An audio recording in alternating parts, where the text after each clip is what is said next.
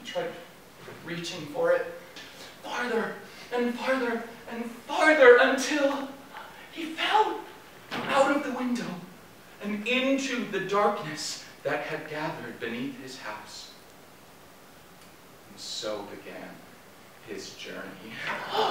it started like one of those dreams you have when you're falling asleep and your body thinks it's falling, uh, and then it jolts awake and you realize, oh, you didn't fall, it, it is just a dream. Except he didn't wake up. He just kept falling faster and faster. He felt the wind rushing past his face. At first it was cool, and then it was warm like a volcano, and then cold again.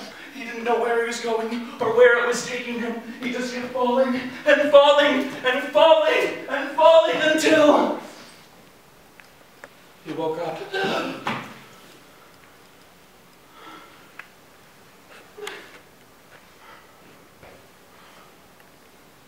He woke up not as himself.